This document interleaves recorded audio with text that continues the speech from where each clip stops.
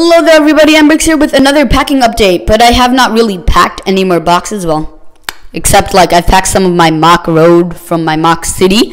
Um, and you know, um, I've been working a lot on my two gun MOCs. Go check out the videos on that. I made two so far, and you know, a lot of pieces all over. Excuse the mess. You know, I'm in the middle of a building uh, process. But um, here is uh, the MOC. Oh, that's where that thing went. Huh.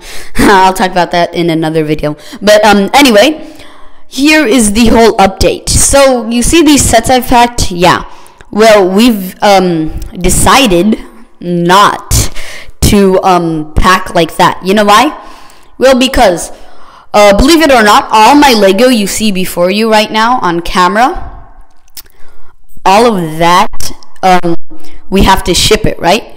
And now uh, we've calculated like how much money it will take uh, to ship, like with all the um, like uh, to buy a shipment container, um, and it's actually more expensive to ship all of this than to rebuy it new.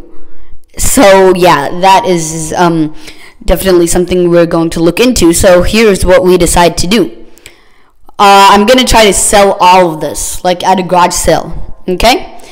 And then I'm gonna rebuy it new because you know it's more expensive to ship, and it's cheaper to buy it new. So you might as well buy it new, and you save money, and you get the products new and you make money. So here are the three things. Obviously, you save money because it's cheaper. Secondly, you get a brand new product and not used. And thirdly, you get some extra cash because, you know, I'm selling this and then I make that cash.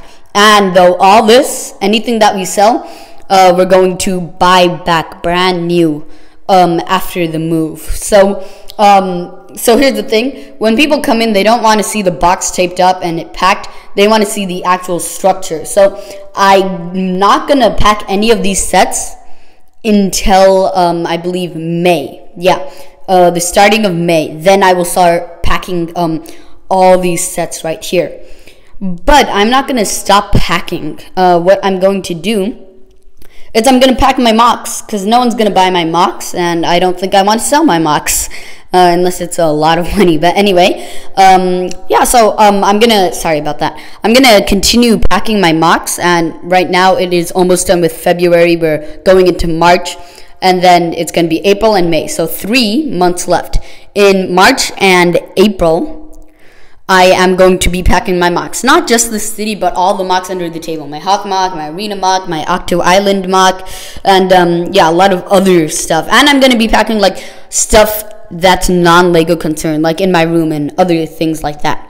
And then in the month of May, so after those two months, I am going to be packing the sets that we don't sell. But yeah, that's just um, a quick little update. I wanted to give you that, guys. But yeah, that's it for this video. I hope you liked it. Please subscribe, leave a comment down below, and I'll talk to you again soon. Bye for now.